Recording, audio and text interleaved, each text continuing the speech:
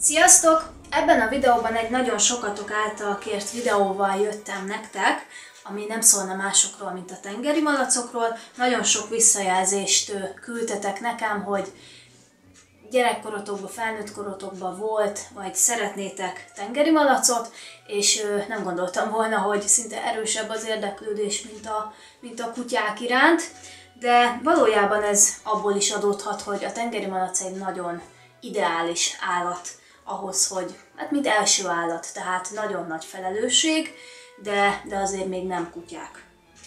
És arra gondoltam, hogy miután én írtam egy könyvcsomagot ebben a témában, a leírásban majd meg fogjátok találni ennek a linkjét, hogy hogyan tudtok ehhez hozzájutni, hogyha szeretnétek.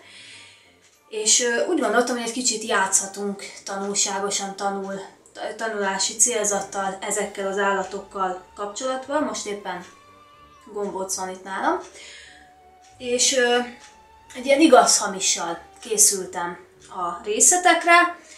Ö, hogyha úgy gondoljátok, akkor le is írhatjátok majd nekem, hogy hányat találtatok el, vagy mi az, ami tanulságos volt a számotokra, vagy mi az, amit nem tudtatok, vagy, vagy mindent tudtatok. És ö, picit olyan tanulási célzattal is, hogy hogyha valamilyen állatot tartunk, választunk, az otthonunkba, akkor azért legyünk tisztában a körülményekkel, amikre, amikre nekik szükségük van. Az egy természetes viselkedésforma, nyilván ő, ő már nagyon hozzám szokott, ragaszkodik, hogyha idegen szeretné így felemelni, a, zsákmányállat effektus előjönne, és ő nem engedné, tehát elfutna, de hát azért már évek óta, ő, hát több mint két éve már azért összesoktunk, ugye kicsikém? Egyébként nagyon szeretem bennük, hogy olyan tiszta állatok, igényesek, tehát szépek, okosak. Bizony. Jól van. Na, akkor úgy gondolom, hogy kezdjük is el a videót. A történetnek a lényege annyi lenne, hogy én elolvasnám nektek az állítást, és ti pedig egy pár másodperc időt hagyva, akár papírra vagy bármire felírnátok, vagy fejbe tartva, hogy eltaláltátok-e a helyes választ. Igyekeztem olyanokat kiválasztani, ugye ezt én írtam, amik, amik lehet, hogy talán olyan nem átlagosak, nyilván, hogyha valaki tisztában van ezeknek az állatoknak a, az életmódjával, akkor mindent tudni fog, de talán tudok a számotokra meglepetést okozni. Tehát az első állításom az az lenne, hogy a tengeri malacok elsősorban szagok alapján kommunikálnak és hát, hogy ez igaz-e vagy, vagy nem. Ugye erre a helyes válasz, ami ugye a következő oldalon található, hogy igaz, tehát legfőképpen ö, a szaglásukra hagyatkoznak, mivel a legerősebb, leginkább fejlett érzékszervükről ö, van szó. Mind egymással ugye nagyon sok információt közölnek szagok alapján, tehát, tehát az állítás igaz. A következő tengeri malacunkat minden évben oltatnunk szükséges. Ezt nagyon sokan írtátok nekem, hogy mennyi időnként kell oltani a, őket.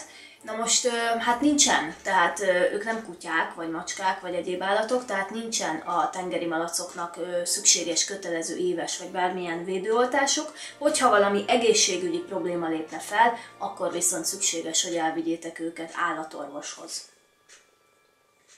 A tengeri malacok tejfogai már az anya méhben felszívódnak. Tehát, hogy már az anya méhben, ö, tehát végleges foggal születnek ebből, én azt mondtam ki, maradandó foggal ö, nyilván. Na most ez az állítás igaz. Ez egy nagyon érdekes folyamat, és ez is árulkodik róla, hogy milyen fejletten, nagyon hosszú vemhességi idő után egyébként, hosszabb, mint a kutyáké, milyen fejletten ö, születnek, szinte a, a szüleiknek a kicsinyített másaként, szőrösen nyitott szemmel fejletten születnek a tengeri malacok, hogy már a tejfogak már az anyamékben ott tartanak, hogy felszívódnak. A következő feladat, feladat, a következő állításom az lenne, hogy a tengeri malacok nem tudnak izzadni, hiszen nem rendelkeznek verejtékmirigyel. Hát ez az állítás, az a helyzet, hogy igaz, tehát nincs verejtékmirigyük, nem izzadnak, ezért is nagyon veszélyes rájuk nézve a hőgutanak az esélye, tehát a szeles, illetve a tűzőnapot azt egyáltalán nem bírják, tehát az életükbe kerülhet. Következő, elegendő zöldség és gyümölcs adagolása mellett nincs szükségük víz fogyasztására. Na most ez az állítás, várok egy picit, ez egyértelműen hamis. Tehát ugyanúgy a, hát a legsterilebb módon az üvegitatót lehet, nagy a műanyag az azért könnyebben vonzza magába a baktériumokat, tiszt, könnyebb tisztítani is az üveget, én nekem az a véleményem. És, és hát mindenképpen szükségük van vízre, amellett, hogy zöldséget, gyümölcsöt mértékkel, de fogyasztanak, illetve attól függően, hogy miről van szó. Tehát fontos számukra a víz.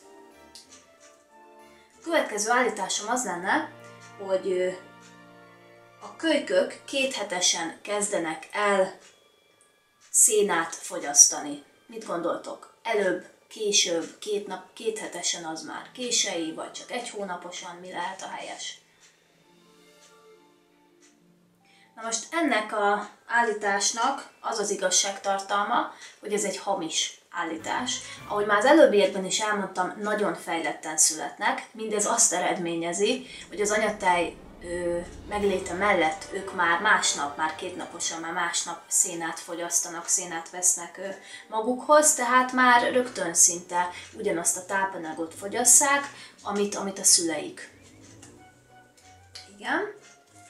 Következő, kopasz tengeri malacok, ugye ők rövidszőrűek, de létezik más, tehát létezik kopasz tengeri malac is, és az az állításom, hogy a kopasz tengeri malacok ugyanolyan bánásmódot igényelnek, mint szőrös társaik. Tehát, hogy mindenben ugyanúgy kell velük foglalkozni, ez az állítás. Na hát az a helyzet, hogy ez az állítás hamis, ugyanis egy az, hogy miután egyáltalán nincs ez a fedett bundájuk, magasabb hőmérsékletet igényelnek, és egy kicsit több tápanyagot vesznek magukhoz, mert többet hasznosítanak, tehát picit több tápanyag szükséges nekik, nem radikálisan, de, de igen, illetve van, hogy szokták őket napteljezni is, úgy tudom, de nekem soha nem volt egyébként kopasztengeri malacon vagy kopasztengeri malacsal dolgom, de más igényeket követel, ez, ez tény. A következő állításom az lenne, hogy a fiatal hím, ugye nekem mind a ketten ő, fiúk, tehát ők egy fiú testvérpár, én nem szerettem volna tenyészteni, szaporítani, meg még inkább nem őket, én csak ő, ő, két tengeri malacot szerettem volna, miután ők ő, társas lények, ugye, és úgy gondoltam, hogy ez egy ideális párosítás lehet, hogyha együtt nőttek fel, együtt születtek, fiú-testvérpár, és ez teljes mértékben be is igazolódott, mert nagyon sok ismerősöm van, ahol vére menő csaták mennek így a egymás között, és folyamatos veszekedés. Ők nagyon békések és nagyon-nagyon szeretik egymást, és már a tenyésztőnél is nagyon ö, egy helyen voltak, és ott is már úgy kiegészítették egymást. Tehát az lenne a következő állításom, és látjátok, hogy nem akar világá menni, tudjuk, biztonságban van, tehát nincsen semmi problémája. Nyilván tudja, hogy én vagyok a gazdája, tehát nagyon erős szaglással rendelkeznek a legfejlettebb érzékszervük, tehát idegenektől elfut, vagy ha más akarja kézbe venni. Az lenne az állításom, hogy a fiatal hím egy hónaposan már ivaréretté válik. Igaz vagy hamis? Erre pedig a helyes válasz, hogy igaz, ugye az előbbiekből talán már kitalálhattátok, hogy mivel nagyon-nagyon fejletten születnek, így hát már igen, ilyen hamar ez problémás lehet, tehát nem szabad együtt tartani más nősténnyel, mert már egy hónaposan ez, ez bajos lehet, hogy, hogy kicsik lehetnek. Ezután következő Igen. Ha a tengeri malacunk egyik metszőfoga letörik, csak ki kell várnunk, amíg visszanő. Ez lenne az állításom. És szerintetek ez igaz vagy hamis? Tehát ha észlelitek, hogy letört, látjátok a metszőfogait, letört, majd visszanő. Igaz vagy hamis? Na most a helyes válasz erre az, hogy ez egy, ez egy utaság, tehát ez egy hamis állítás, ugyanis a letört metszőfog soha nem fog visszanőni, és a szemben lévő metszőfogát ugye nem tudja vele koptatni, mivel ugye le van törve, és ez nagyon nagy problémát okozhat, ugye mert ez az állatnak a, az életébe kerülhet, ezért nagyon fontos, hogy a tengeri malacokra szakosodott állatorvoshoz vigyétek el, hogy segítsen neki. A Mikulás virág, na legyen ez, a Mikulás virág, a tiszafa és a muskátli is mérgezőek a számukra.